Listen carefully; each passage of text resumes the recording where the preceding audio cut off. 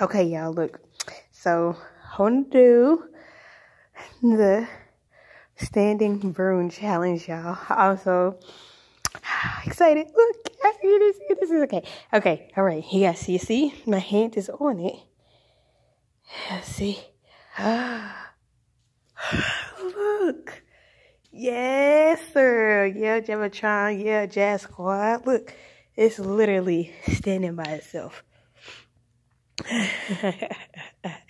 and yeah, oh my goodness, I'm so excited. But anyways, this right here, look, the reason for it would basically be like the force of gravity. So um, if you actually look at it, the bristles down here at the bottom, they hold, just think of it as like a tripod. So the tripod expands and you forcing it down. So look, Look, y'all. I'm so cheesy, but I wanted to follow the trend that's going down. And I really don't have anything else to do. But yes, you guys, look, standing room. standing room challenge. Ah, yeah. Y'all, y'all. Y'all see? My hands are right here. Look, here's my other hand.